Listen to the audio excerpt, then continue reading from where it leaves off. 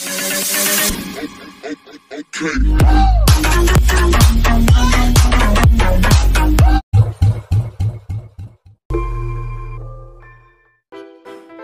Dumbbell curls में दोनों हाथों में डंबल्स ले लीजिए। सीधे खड़े हो जाइए। चेस्ट को बाहर निकाल दीजिए। शोल्डर को पीछे गिरा दीजिए। दोनों हाथ की कोनियों को पीछे की तरफ़ लॉक कर लीजिए। आप जब भी डंबल्स को ऊपर की ओर उठाएँगे, मुँह से पूरी सांस बाहर निकाल देंगे। नीचे रिलीज़ करते समय नाक से सांस भर लेंगे। जब आप डम्बल्स को ऊपर उठाएँगे, उसे थोड़ा सा बाहर की तरफ़ मूव करने की कोशिश करें थोड़ा सा घुमाने की कोशिश करें। जब आप ऊपर लेके जाएँगे डम्बल्स अपने से को कस के खींचने की कोशिश करें। वहीं पे उसे एक डेढ़ सेकेंड होल्ड करने की कोशिश करें सबसे ऊपर। उसके बाद धीमे धीमे स्लो मोशन में नीचे की ओर रिलीज़ कर दें। एक चीज़ का ख्याल रखिएगा, आपका बॉडी मूवमेंट एकदम सही होना चाहिए। शरीर को स्ट्रेट ही रखने की कोशिश करें। घूनियों को एकदम से लाक रखिए, केवल हाथों का ही उपयोग करें।